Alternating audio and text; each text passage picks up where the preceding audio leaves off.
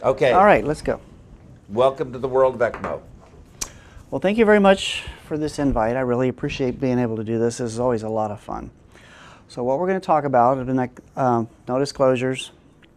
The next hour, we're going to talk about what is ECMO, what history of ECMO, where it came from, different styles, quickly, circle a little bit, but mostly we're going to focus on patient populations, the different kinds, neonatal, pediatric versus adult.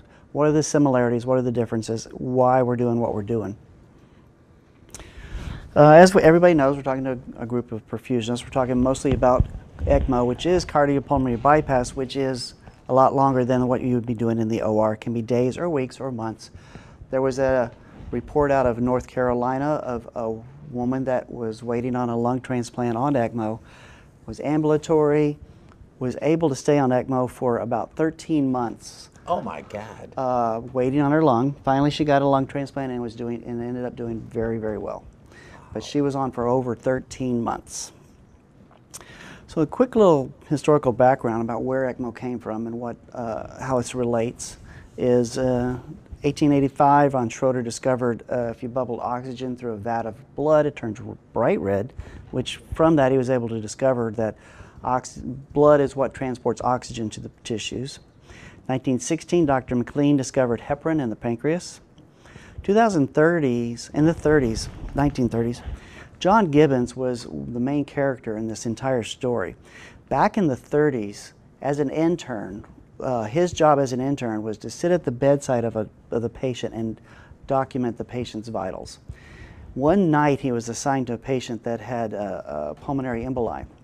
And as he was sitting throughout the night documenting this woman's uh, vital signs getting worse and worse and worse throughout the whole night, he came up with the idea that if I were to take blood out of the right side of her heart, oxygenate it, and put it on the left side of her heart, I would be able to save this woman. So, from that little kernel of information, he and his wife Mary, who was the lab tech at the time, came up with the first idea of how to create the first oxygenator. Um, throughout the 30s and 40s, uh, during the wars, uh, one of the things that was invented, Dow Chemical came out and invented silicone rubber.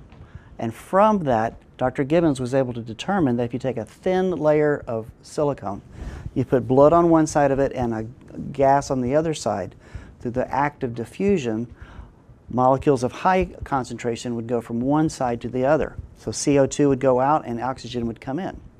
So from that, after much trial and error, took about 20 years, uh, he finally had his first adult survivor in 1953, which was an 18 year old with uh, VSD. Cecilia Bavolek was her name. Was her name? That's what was her name. Okay. 1971, after much experimenting, we had our first adult ECLS survivor. And in 1974, we had Esperanza, our first ECMO neonatal survivor.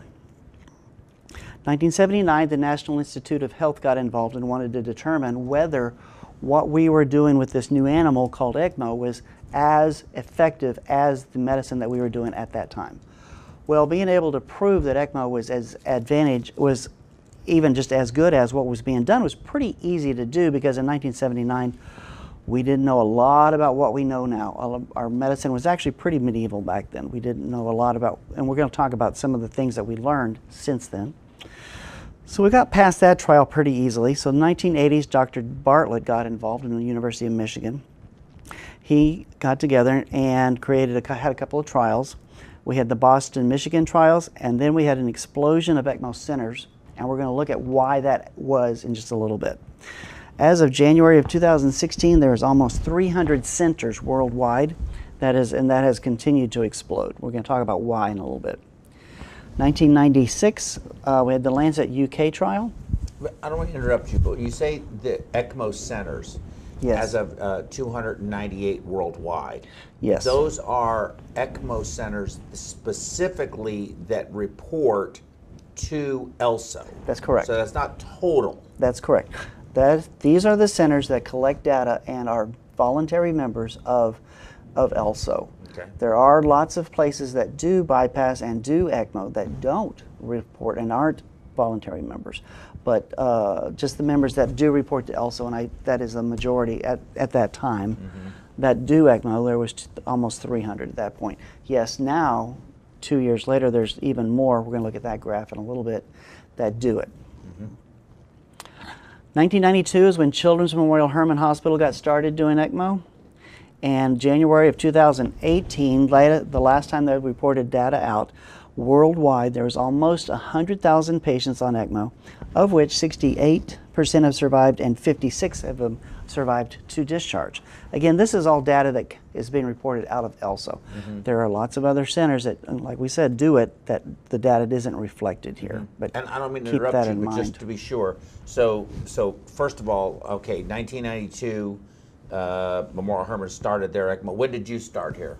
I started doing ECMO in 2000. 2000. So eight years after they first opened that up here, pediatric ECMO, and then you have here uh, 68% survived, uh, 56 to discharge, so 50, 68% survived the ECMO run.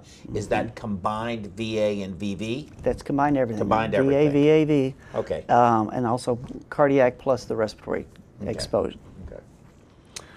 So here's a picture of one of the very first oxygenators that they used back in the 50s. What they did was they took layers of silicone and uh, sandwiched them all together with mesh and every other channel flowing in one direction, you can kind of see. Does my mouse show up on when I do that? No. No. Okay, that's okay. They have, uh, you can see the tubes coming out, collecting the blood, taking it back to the patient. And you can see the big tank of gas and the sweep gas being split into many different tubes being sent counter currently. So this is one of the very first ones being held together, big giant C clamps. So one of the very first studies that was ever done was done by Dr. Bartlett back in 1985. And he did a study uh, with two different arms, with one arm being the ECMO patients and the other arms being conventional ventilation. And the way he randomized his patients to do the two different arms was something that he called uh, play the winner. And the way that works is whatever patient was first entered into the study was randomized to one arm or the other. And I'm not sure how they did it. They rolled dice or tic tac toe or whatever. But the patient got randomized to one of the arms. And the idea was they would continue on that same arm with every sub- subsequent patient as long as each patient continued to live. And when the first patient that died on that arm, they would stop on that arm and go to the other arm and do the same thing, continue to put patients on until somebody died. And then they would compare the two numbers and figure out which one was better. Well, luckily for everybody in the study, the first arm they got randomized to was the ECMO arm. So for the next 11 patients in a row, they all lived, and then finally one of them died. And then they went over to do the control ventilation arm, and the very first patient out of the gate died. So they compared the two numbers and said, okay, well, this is no brainer. We've got 11 versus 0, so ECMO obviously is, the better, is better than what conventional ventilation. Well, as you might imagine, the randomization idea was not very well thought of. So a few years later, a guy named John O'Rourke came together and said, Dr. Bartlett, we love you, but we need to redo this. This needs to be done better. So he did the exact same idea where he had two different arms. He had ECMO and he had conventional ventilation, but he did a proper randomization where he did uh, every single patient got properly randomized to one arm or the other. And you can see his results there. 60% of the control patients died, where 97% of the uh, patients treated with ECMO lived. Well, that gave That's him a huge. yeah. Well, it gave him a p-value of five percent. His sample size is a little low at 39, but he's had a good p-value. And uh, for those of that have forgotten statistics from the many years ago you took it in college, p-value you want that to be 5% or less. If it is, your hypothesis is supported. So this guy was right on the money, right at 5%. And so it was a good study for the time. The only problem was is he had such a small sample size. So Giles Peek over in the UK got together and he did this similar study where he would transport patients into four tertiary centers that did ECMO and neonatal ECMO and then randomized them. And he had a large sample size. His sample size was 185. Similarly, 59% of those control patients died, but only 28% of his ECMO patients died, which gave him a p value of 0.05%. So, large sample size, properly randomized, great study that was done at the time. Although the only caveat we have nowadays is that it was done in 1996. So it's an old study, and medicine has certainly changed since 1996. However, it was a very large, expensive study, and no one is ever going to redo this on neo respiratory ECMO ever again. So, this is one of the main studies that people point to when they say neo respiratory ECMO works, and this is why. So, keep that in mind, however, because we're going to come back and look at this in a minute about what has changed since 1996. Here's a map of the world, with all the ELSO centers that uh, report to ELSO, and you can see we are now got ECMO going on on every single continent except one. Here is a map of Texas and all the ELSO centers that we have in Texas, and there's Houston down below. Um, us at the top, we've got uh, St. Luke's, TCH, Methodist. All right, so now let's start talking a little bit about similarities and differences of adult versus kids. So, one of the things that came about in the 70s and 80s when we first started trying to do adult respiratory ECMO, it was very unsuccessful. And the reason was was because everybody was cannulating everybody through the femoral vein and the femoral artery. And so you were having oxygenated blood flowing countercurrent up the aorta, and the native heart was pushing native cardiac output back down the aorta. So eventually the oxygenated ECMO blood would get turned around and go in the right direction. However, it wouldn't quite make it up to the coronaries, it wouldn't quite make it up to the carotids. And so you had a very pink patient, you had a very oxygen, you drew a blood gas, he was very oxygenated. Why in the world does this guy got a dead brain and have a, why has he got a dead heart? So a lot of people threw their hands up and said, well, this doesn't work adult ECMO doesn't work. Well, doing it this style, yeah, it doesn't work very well. Sometimes this does work when you have to make it work, like when you're having a patient that's having a cardiac event and you're having to emergently cannulate them. However, we have since learned that if you put uh, a venous cannula in the femoral vein and you put a, your return into your jugular and you start doing VV ECMO, especially with adult respiratory cases, they do extremely well. Um, now you've got uh, a high cardiac output, you've got high myocard, uh, a, a, a, crit, and you've got lots of oxygen delivery, and now your coronaries are seeing good oxygen delivery, and your brain is seeing good oxygen delivery. So now here we are. Um, having lots of good success with adult respiratory ECMO. And this is why just the thought process of changing between one and the other. Okay, so that's adult ECMO. So kids, if you look at the third image there, you can see this is an example of a kid that's on uh, respiratory VA ECMO through the neck. Um, we've got a jugular uh, cannula going down into his right atrium, and we have an arterial cannula that goes down the carotid that goes to just right above the aortic arch taking blood out of the right atrium, oxygenating it, and putting it into the left side, just like Dr. Gibbons wanted to do back in the 30s. This works really well.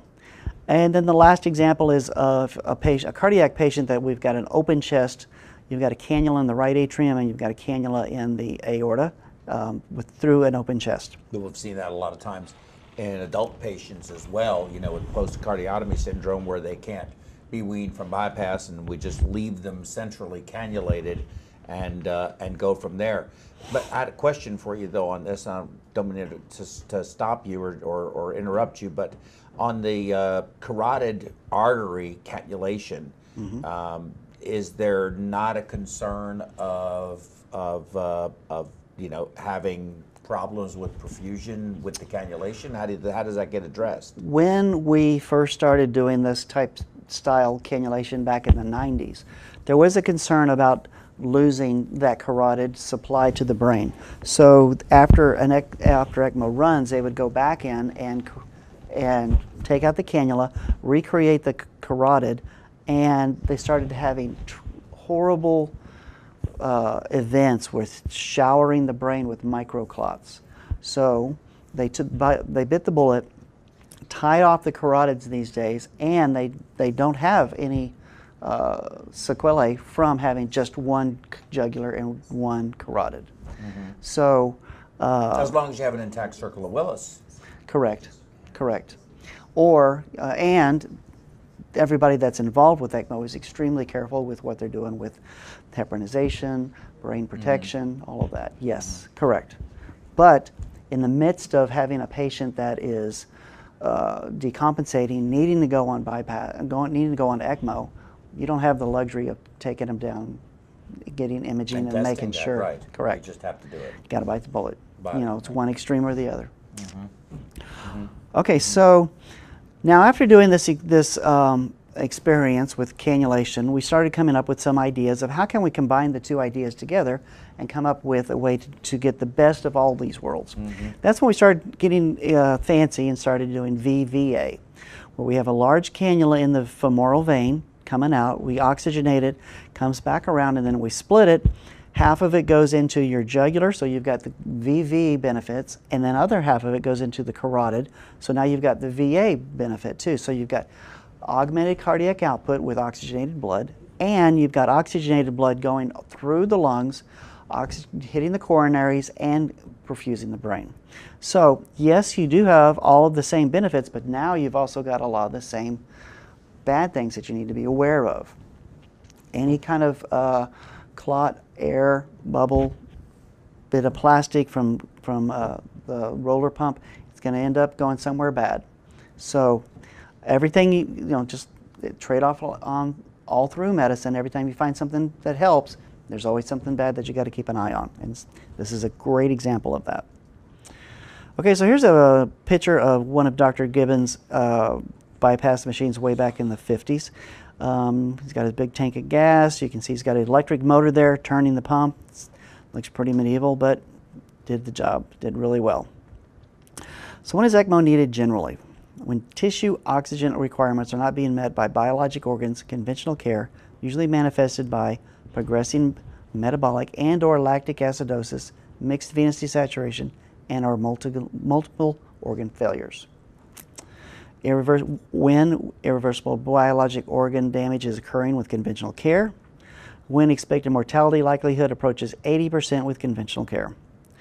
So this is an example. This is uh, data from ELSO going back to January of 2013. Shows all the different reasons on why we would put a patient on neonatal respiratory ECMO. Mm-hmm. You see it's broken out. The biggest column we've got there is diaphragmatic hernias. And you can see we're about 50% successful with those. This graph shows usage of ECMO starting in 1990, neo-respiratory, neonatal respiratory ECMO. 1992 was our heyday. Since then, it has dropped way off in the 90s, and then it's kind of stabilized out. And these are the reasons why. In uh, 92, we started trialing nitric oxide. Then we did a trial of high frequency. Then we did a trial of high frequency plus the nitric oxide. Then we did a trial with surfactant. And finally, in the year 2000, the FDA approved the use of nitric oxide. And then also, since this, we've come up with high, low ventilation strategies, lung protection ideas. And so, because of that, a lot of the reasons why we went on ECMO um, has fallen off. Way back in the day when we first started doing this, meconium aspiration was the main reason we'd put these kids on. Um, since then, we've learned how to treat meconium aspiration without having to put them on ECMO. So, going back to what you were just talking about, not having to lose a jugular when we can support these patients on conventional Or ventilation carotid. and the carotid More so. is beneficial. Okay, so keep this in mind because we're going to circle back to this idea in a few minutes. So, how are patients identified who might benefit from ECMO? Unlike neonatal ECMO, there are no broadly accepted pediatric or adult ECMO indications. The goal is to identify the 80 to 90% mortality likelihood without ECMO. You must have a reversible disease process. You got to have an exit strategy. Oxygen index has to be greater than 40, or your Murray score has to be greater than 3. And you can also do an A to A quotient or your perfusion perf- quotient, but it's a whole lot easier just to use A to A uh, oxygen index or your Murray score. Okay, so here's the similar graphs that we were looking at for neo-respiratory. Now this is the pediatric respiratory uh, data from January of 2013. And you can see other is the biggest category there, but if you take away the word other, viral pneumonias and respiratory failure combined make the largest uh, contribution. And so The graph for pediatric respiratory ECMO looks very different than the one we have for neo. You can see we kind of stabilized out in the in the year in the 2000s, but then we started taking off. In the year 2009 is when we really started exploding, and this relates to the adult experience we're going to look at in depth in just a minute. So keep the year 2009 in mind because we're going to circle back to that year. Okay, so PD and neo cardiac ECMO. These are the different reasons why you put a patient on, and congenital defects are the largest percentage. The data is from, again from January 2013, and we're about 50% successful. These patients live about 50% of the time coming out on ECMO. And here's the respiratory, uh, respiratory, adult respiratory uh, experience. We've got viral pneumonias, bacterial pneumonias, and adult respiratory failures. Take away the other, and you can see that those are the two. Now here is a shocking graph. 2009, you can see we were pretty stagnant on adult respiratory all the way through 2009, and then things just exploded, took off. And you can see the success rate at the very end is about 43%. Now, if you put these graphs all together, you can see that the neo respiratory drops way off. It's less than 10% of our business these days. The biggest percentage of what we are doing for ECMO these days are adult respiratory and uh, pediatric respiratory. So how are how is adult and pediatric ECMO different? So they're actually more alike than they are different. Some of the things to keep in mind is that mechanical ventilation prior to ECMO for the most part, at about 10 days of high ventilatory support is when we would uh, consider the patient's not a candidate. But for an adult, those days are about six, only about six days. So once you reach 10 days in the PD, six days in the adult, you're essentially no longer a candidate for mechanical pulmonary support. There's been uh, quite a few studies that have shown that at 10 days of high ventilatory support for the pediatric kids, world, um, those lungs have been damaged to the point that they're irre uh, irreversible, that we end up with uh, futile care. Um, and on the adult world, the, the adult lungs don't take very kindly to high ventilator settings any, any more than the kids do, but even less so. Mm -hmm. And, and, and, let me, can I, can, you don't mind, you don't mind the interruption, because this is something that, that, that is very troublesome to me. Those numbers that you quoted on the adult ECMO with mm -hmm. a overall survival of 43%, that's pulmonary. Yes. Pulmonary. Yes. But the range on that is very different. The range is can be quite high. And the argument is always you put you're putting patients on ECMO that could have done without it, and so you know even though you may just write you know you have these two different criteria when you should consider ECMO and when it is absolutely indicated, but how many of those patients that contributed to that number being 43% that that number would be much higher if they didn't wait six days five days, six days, or seven days, and then put those patients on ECMO? How much mm-hmm. of that do you believe? If you know the answer, fine. If not, maybe your opinion. But how much of that do you think contributed to that number being 43% overall when I would think it would be much higher than that? Well, there's that viewpoint, but then there's the opposite viewpoint that a lot of these patients that do get put on was put on at a much l- too late of a date and they end up dying, and they would have probably been, uh, they probably would have died with or without ECMO anyway. So those add to the negative part of that equation. Mm-hmm. And then, yes, putting these patients on too early, uh, but then they do okay. Um, so, it, so yes, it, it, very much befuddles the whole equation. Mm-hmm. Um, and then you've got different centers that all have different criteria about when they put a patient on. So, um, one of the one of the benefits of ELSO is is all the data collection that we do and the ability to drive a uh, centralized criteria for patients. However, there will always be um, individualistic components to this equation. Um, you know, the physician at two in the morning who puts a patient on because they're panicked, okay, or the patient that waits way, way, way too late. I can do it without. I can do it without putting on ECMO. They view putting a patient on ECMO as a failure, so they wait, they wait, they wait, and then finally, oh, I've run out of things to do. Let's okay, let's put them on ECMO. So You can predict that outcome. there easily. you go. There you go. So you put all these together, and yeah, you're right. That that number 43 could be completely irrelevant. Um, it is uh, one of the things to use for trying to come up with a a, a, um, a, a group idea of uh, patient selection. Mhm, Very good. Okay. All right. So, some of the differences between adult and kids.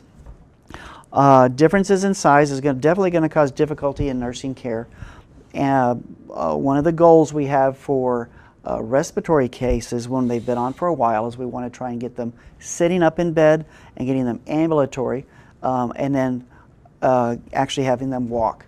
The case that we were referring to when we first started from North Carolina, the woman that was on for 13 months, she was up walking around every single day, and she actually was able to walk herself all the way down to the first floor. And they have pictures of her sitting out on a patio, just seeing the outside, and then coming back.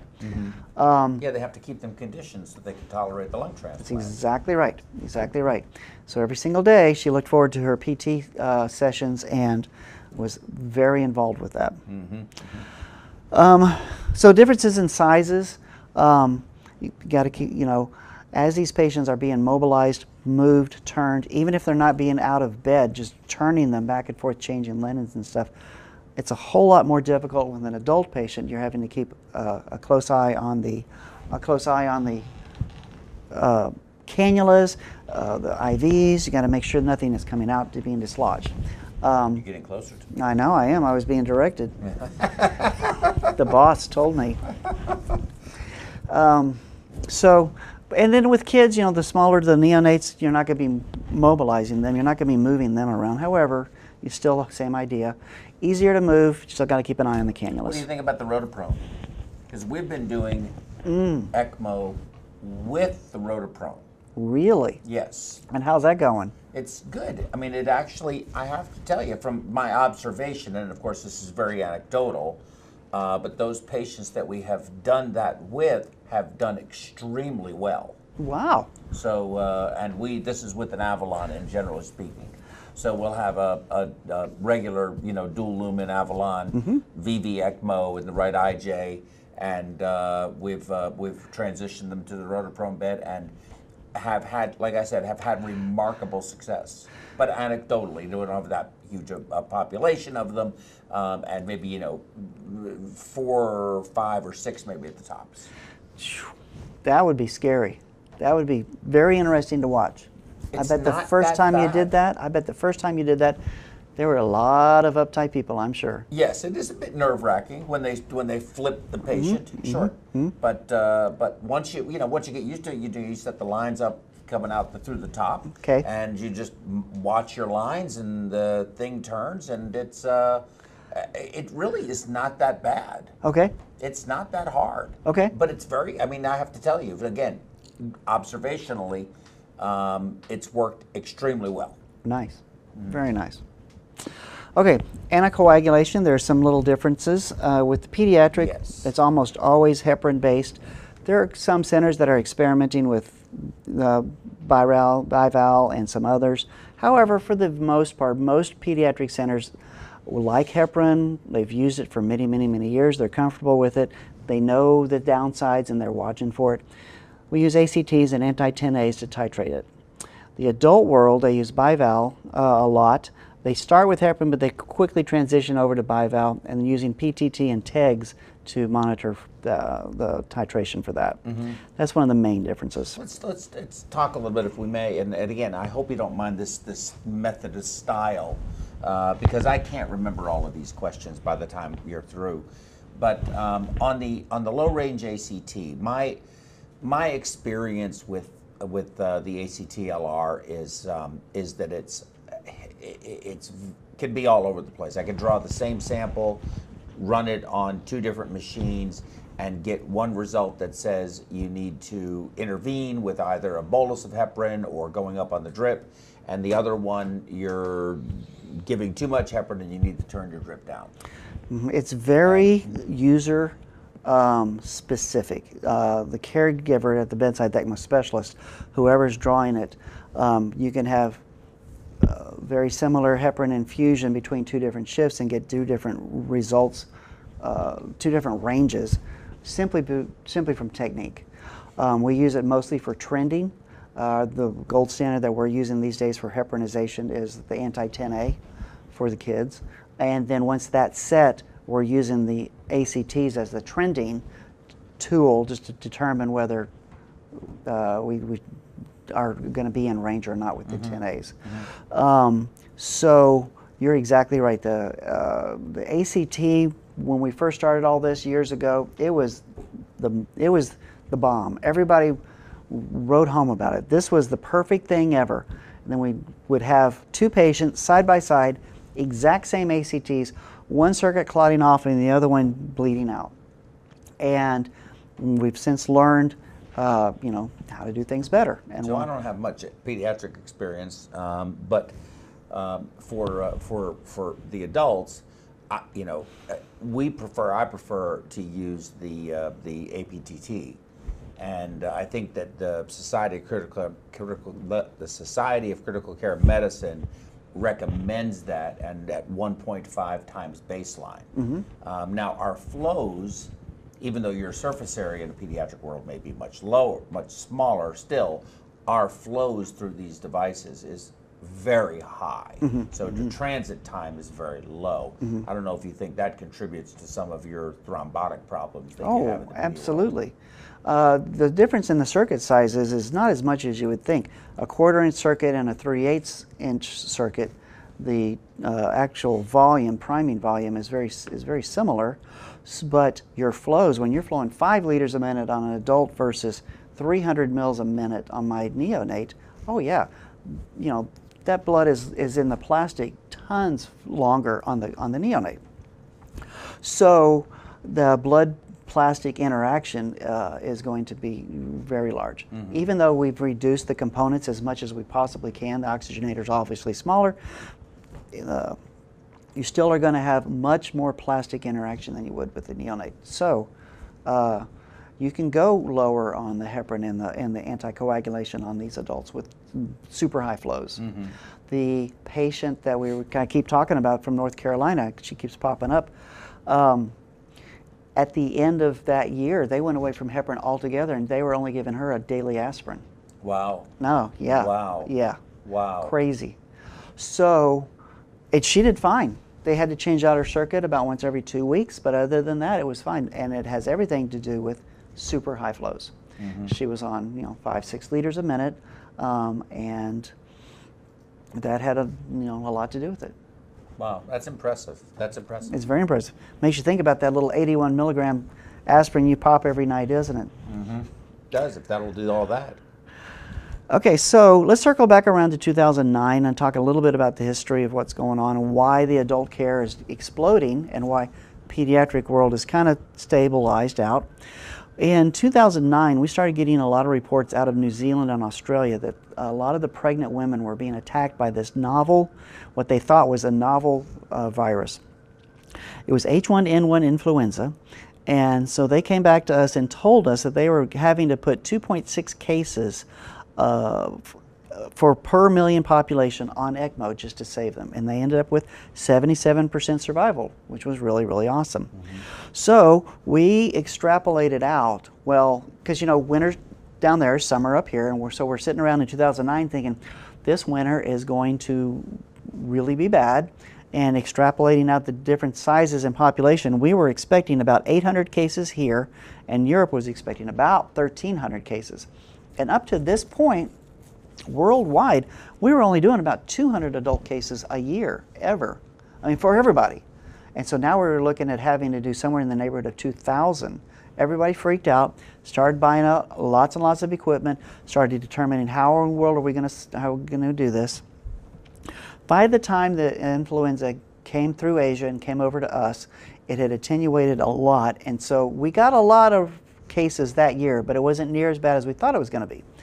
But in addition to that, one cool thing was actually going on was Giles Peek, the same guy that was putting on that neonatal respiratory case uh, study that in Europe that we were talking about earlier, had also been spending the last four years up to this point putting together an adult version of that exact same study. So his, his target population was adult ARDS patients going on ECMO. And you can see the study here. Um, 63% of the uh, ECMO patients lived, where 47% of the uh, control patients lived. So you can see the statistics there. P-value was 0.03. And these two uh, things came out at the exact same time. The CESAR trial in addition to the reports out of Australia. So people put this together and started coming up with uh, the thought process that adult ARDS does very well, responds very well to uh, ECMO. So, as happens with uh, many, many things, a lot of people were changing their minds. We had a new generation of physicians that didn't have that same adult respiratory ECMO experience that we had back in the 70s and 80s. Um, they're a new generation, they were forward thinkers. They said, why not try ECMO on these patients? So they did, and they started liking it, started having good results with it. And so now, fast forward to today, now we're putting all kinds of patients on these. Um, we've got cardiac, patient, cardiac centers that are putting just about every single patient that comes through their door, putting them on ECMO. So we're kind of getting back, the pendulum has kind of gone a little bit too far, and now we're putting all kinds of patients on that doesn't need to go on, or patients that shouldn't go on. Mm-hmm. But that explains why that graph looks the way it does, heading, heading north at about a 60 degree angle. Mm-hmm. Now here's a couple of quick little graphs I got from the CDC talking about last winter's influenza uh, uh, epidemic that came through. The orange ones, yeah, the orange one, the red, yeah, the orange ones at the top are the H1N1. As you can see, it's still around. And here's the similar thing, but this is every single year going back about five or six years. The red at the top is uh, last year's. Mm-hmm. And the reason I brought this up was I was sitting around in an airport one day reading a USA Today that, you know, just bored, and I came across this article where a bunch of guys in Pennsylvania was digging in their backyard or on their farm, and they found a bunch of bones. So they called the police and they said, "We found a bunch of bones. What's this?" And they came out and took a look, and turns out it was a mass grave from the uh, Spanish flu influenza pandemic back in the 1918. Um, and you can see in the Smithsonian that they estimate somewhere between 50 and 100 million cases, 100 million people died worldwide wow. from the Spanish flu. Oh my God. So they took the bones and they took the bone marrow and they uh, did a sample and they found live H1N1 influenza. Oh my God. Right. Exactly right. Oh my God. So, keep that in mind. Keep that in mind. It's still around and it's still deadly. So, where are we going with all this? We're, we're developing modular ECLS components. Presently, we've got cardiac, respiratory, and renal. We're developing Generation 2 ECMO pumps, which are simple, easy to, easy to uh, walk around with. Patient population, adult ECMO is going to use, ECMO use is going to increase dramatically. Vascular access, VV, is going to become the standard approach. We're developing thrombo-resistant circuits. Cardiac uh, ECMO is going to be being done at all centers because when a patient decompensates cardiac-wise, they need ECMO, they need it right that second. But respiratory ECMO, when a patient decompensates from a respiratory reason, they've got several hours before they actually need to go on ECMO. So what we'll probably start seeing are tertiary centers that specialize in respiratory ECMO, mm-hmm. and lots and lots of centers all around that do cardiac ECMO. Mm-hmm. Mm-hmm. Artificial placentas with uh, Proper safety and knowledge, the patient population can, is going to change from the moribund to the moderately severe respiratory and cardiac failure.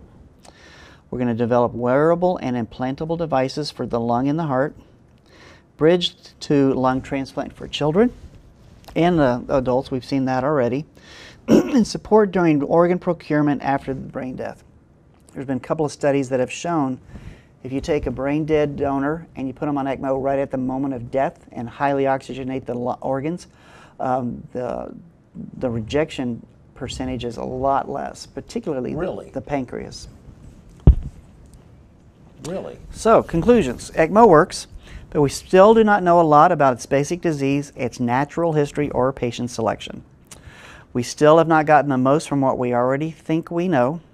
And we also know that there are the known unknowns, that is to say, that we know that there are some things that we do not know, but there's also the unknown unknowns, the ones that we don't know that we don't know. Yep, Don, Don Rumsfeld. I've used that quote. Have you really? It's a great quote. That's a great, a great quote. It and that was an excellent, that was really a great presentation, and I appreciate this so very much. I think that was that that that was a very comprehensive review of ECMO, and especially talk because I talk about ECMO a lot, but I only talk about it in the adult world because I don't live in the pediatric world. I just Right. don't. Right. Um, now I I believe that yes, you can put an ECMO in too early. However, I mean way too early, and you know, Okay. but Okay. I believe by and large that when you see ARDS patient after ARDS patient after ARDS patient and you have that experience, you know from the trend where this is going to go, mm-hmm. almost predictably. Mm-hmm. So, this argument that it's put in too early and the patient could have done fine without it, I think is a red herring. I don't think it's a good argument. And I think that I, I believe that ECMO is still underutilized. Yes. That is what I still I believe that from the VV perspective. The VA perspective, it's you know your mortality on that's going to be high. Yes. Um, you're expected not to survive, but and I think you do have to have some very uh, very um, uh, specific criteria. You know, if you have a 45 year old female or male that comes into your facility without any other, you know, uh, uh, uh, comorbidity that would be exclusionary, um, I think we have an obligation. Look at what the French are doing, putting them on, putting people on ECMO in the in the Louvre. In the Louvre. Did you see that? Yes, I did. I have. That was awesome. Yes, I have, and uh, you know, I think that you know people deserve a uh, an opportunity. They Yes. deserve that chance. Now, Yes. I think we have to be pragmatic, and at day five, when they're still on uh, max doses of epi and norepi and uh, and and uh, neo and uh, vasopressin, And they're emptying out the blood bank. Right, and their or their or their uh, their lactate levels are going through the roof, and you're only clearing it because you have CRRT running at the maximum speed, and you know that their bowel is uh, infarcted. Um, you know, there's there there is a time you have to be able to say we've got to end this. Well, yeah, limits. There certainly needs to be limits. However, I think you're right. This is a modality that can be utilized to uh, treat these respiratory cases, uh, and it's been shown uh, high high probability of success, save the lungs, uh, and there's been studies that have shown that it's cost effective. Per day, it's a very very expensive therapy. However, you take an ARDS patient, you throw him on ECMO. a week later, he comes off ECMO. A week later, he comes off the ventilator. A few days later, he's out on the floor, and a few days after that, he's walking home. Versus putting him on a ventilator and leaving him in the expensive ICU for months. Oh yeah, you would definitely save money in the long run by utilizing putting them on ECMO and Yes. getting him well quicker and getting them out the door quicker. Yes, absolutely, and and it's the right thing to do from a societal perspective. You know, in terms of the the the, the uh, uh, in the interest of public safety, and you know, the the community the community interest is these people um, are uh, contributing members of society, even whether they are or not, but they're human, and we have an obligation to help them and uh, and get them home with a reasonable quality of life. Uh, and it, in fact, their, their, their quality of life really should be at baseline if they had an acute event, pneumonia, uh, developed ARDS and needed to be on veno veno uh, ECMO or had a sudden cardiac arrest, had was were revascularized um, and uh, were on VA ECMO until their uh, heart decided to to get strong enough, or they got uh, a VAD or whatever it may be, and they can go on. Look at our one of our former vice presidents had a uh, had a VAD in for uh, a couple of years until he finally got a transplant and lived with it and went to the store and everything else. Had his grandchildren learning how to learned how to uh, how to change the battery. Oh, I didn't know that. Yeah, it's a good thing that I wasn't one of his grandkids, but uh, that would have been. not a get into that. Would have been a different. I know I shouldn't make political statements, should I? but uh, but anyway, with that said, let me touch the. You know, if we can close this out, I want to go ahead and touch the third rail, and uh, may as well do it. There's 4,300 perfusionists. Oh, okay. Yes. How many ECMO specialists are there? There whether it be Oh. nurse ECMO specialists or respiratory ECMO specialists. I don't know that, I'm, I'm, it's a lot. Uh, Well, it, it potentially could be every single nurse, every single RT that's out there.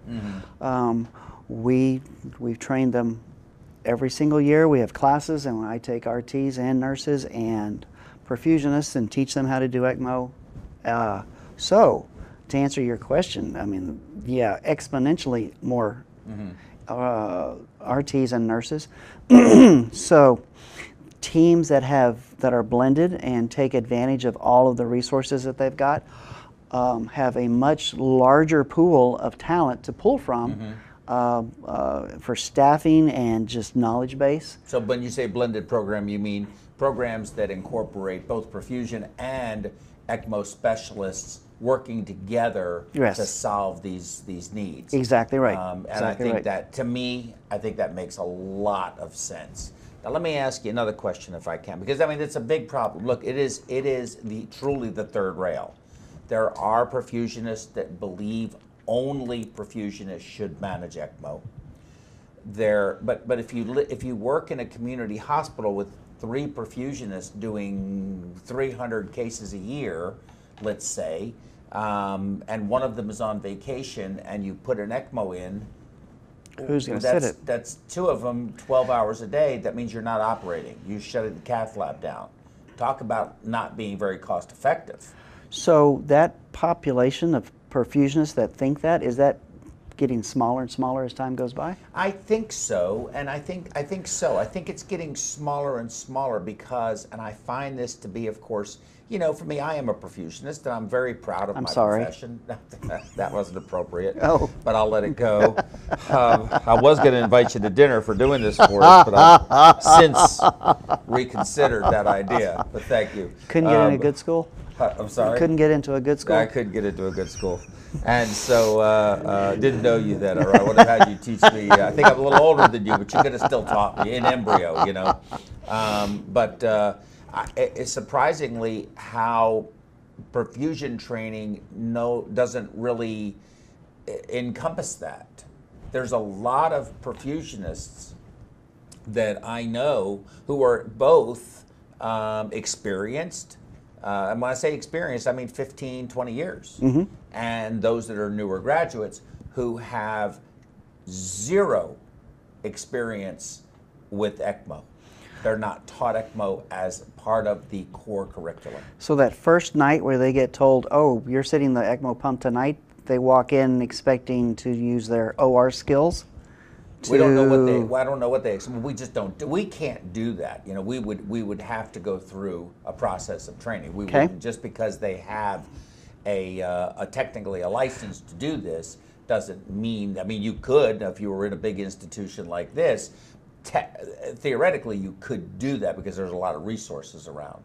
Uh, but even in this institution where we are here at Houston Methodist, they use ECMO specialists here, Uh, and sometimes nurses at the bedside who are, I think, in some cases where they are uh, managing the ECMO patient without an additional nurse ECMO or or RT ECMO specialist, either one. Uh, it taking care of the ECMO itself. I think you can do that if you're using a system uh, that you are almost assured nothing can happen other than complete failure, in which case it doesn't matter who's there.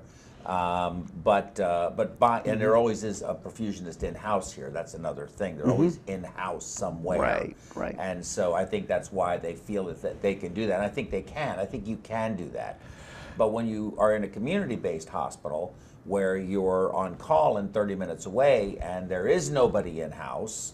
Um, and something, if the thing does clot off, let's say, um, you know, even though it's going to be a fire drill, if you have to wait the additional 30 minutes, that may not be the best scenario. So what do we do? We try to make sure that doesn't happen, but it can. It can. Mean, it can happen. Look, you know, the drip could get infiltrated and uh, or get turned off inadvertently or whatever happens. Well, this is And, uh, Houston. patient- we get tropical storms. We get hurricanes. We know we had that. We had that Uh, experience. With Power goes out, and now six hours later, your battery's dead, Yeah. and your perfusionist can't get to you because they're flooded in. Right. What do you do? Right. They have to know how to Exactly, It, right. exactly. But I think that's part of the training that we need. And I agree with you. I think we do need blended programs. I think it's the Mm-hmm. only way we're going to do this. Let me uh, let me ask you, and I'd like to revisit this again because I think ECMO is such a such an a a, a, a, a topic of interest for the medical community right now that I think we could do another ECMO program and really talk about uh, what is the best training and talk about not just the physiologic aspects of it and the patient selection aspects of it, but how to actually have an ECMO program, whether you be in a large tertiary center like this or your center, or you are in a more community-based setting. And I think there's a lot of people because ECMO utilization is going to continue to rise. Yes. And I have said this, I don't know how many times. We are one epidemic away from not being able to manage all of these patients because too many perfusionists think they're the only ones that can do it, and now they're not going to be able to, and we're not training enough uh, ECMO specialists in order to be able to fill that void. That's my opinion. No, I think it's a valid uh, point. We, uh, as you know, you can't. It, it's not an overnight training. There has to be some investment on many people's part, uh, time, money, energy, equipment. Uh, it can't be. Uh, you know, there's an epidemic in Australia, and it's going to be here in six months. You know, it's going to take that long just to get everybody up and trained, and get the equipment you know, in-house. So no, you're exactly right. Something to think about, something to move forward to. And um, a lot of these community hospitals that are doing uh, ECMO, that aren't part of ELSO, um, you know, they're, there's, there's the ones that we need to support. We need to uh, help them with their training and help them with that uh, knowing what they need to know, uh, including simulation labs and and, all Knowing what they need to know because they don't know what they don't know. That's right. So, uh, one last question. I philosophically believe that if a patient has and is, in, is septic, they have had pneumonia. Now they have they're septic. They're in ARDS. They're on ECMO. Um, that that system should not be left up for two weeks. That after what do the nurses do every 72 hours? They change all of their IV tubing. Why do they do that? It's infection control. So generally speaking, I prefer to use a less expensive uh, polypropylene fiber uh, uh, oxygenator and change it once it becomes wetted out. And Oh, uh, go ahead and change it. Okay. Uh, and every time I do change an ECMO circuit, I always notice the patients pick up. Now, maybe that's not every patient, but certainly the ones that are that are septic. Okay. The polymethylpentene fibers, of course, will aren't don't react to lipids. They last a lot longer. You can use propofol, et cetera, et cetera. Uh, what's your opinion on how I feel about that, and whether you like the uh, the uh, the polypropylene filter or the PMP filter? I like the, the polymethylpentene ones better, and Mm-hmm. the reason I like it is just in patient safety. Um, I know that that oxygenator is going to last a lot longer than the uh, others. That you start getting uh, plasma drip, you start losing proteins, you start uh, But we running the risk. then. Okay. As soon all as right. that happens, we're going to change it. So now you've exposed the patient to a whole new set of plastic. Uh, they go through the inflammation process all over again. Uh, so And that's the argument. I know. And I know it's I the know. argument. I know. But the now- flip side of that argument is every one of those connectors, and there are multiple places within that oxygenator that are static. There's no flow. yes. and you have infected blood sh- that is stuck in there that cannot be treated, you're treating the patient, and does that not continue to be a nidus for continued infection? Okay. So with that in mind, maybe that's the impetus for a new design. You, you combine the two ideas. No stagnant blood. You you redesign the so there is no uh, infected blood not doing anything. Well, I think with the utilization of ECMO going up the way it is, the money is there for them to R and D this. Oh, yeah. Oh, I'm being told. Oh, we went 15 minutes over. I, I think that's great. This was a very good conversation. I enjoyed it very much. And uh, uh, I want again, Curt, I want to thank you so much for Oh, doing this. well, thank you us. for your time. It has been an absolute.